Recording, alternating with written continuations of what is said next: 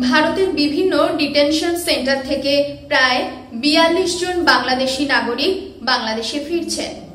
ভারতের বিভিন্ন ডিটেনশন সেন্টারে সাজা ভোগের পর বাংলাদেশে ফিরেছেন বিয়াল্লিশ জন বাংলাদেশি নাগরিক।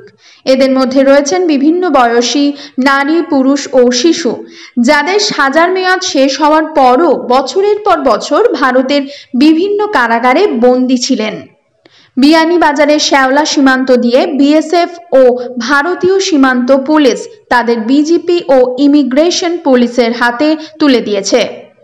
আসামের গুয়াহাটির বাংলাদেশ দূতাবাসের সহকারী হাই কমিশনার তানভীর মনসুর রনি ও মৌলভীবাজারের সমাজকর্মী অমলেন্দু কুমার দাসের দীর্ঘ প্রচেষ্টায় ভারতের বিভিন্ন ডিটেনশন সেন্টারে থাকা এসব বন্দি বাংলাদেশের পরিবার পরিজনদের কাছে ফিরে গেছেন। তিন বছর সাত মাস অতিবাহিত হয়েছে। আমি প্রায় তিন চারবার পাসপোর্টে গেছি গিয়া কোনো মন্ত্রে বাই আনতে পারছি না। এই এত দিনের পর আজকে আসতেছে। বাই যাওয়ার পর মা বাপ সবই মারা গেছে। গৈছে বর্ডার এলাকার বাড়ি।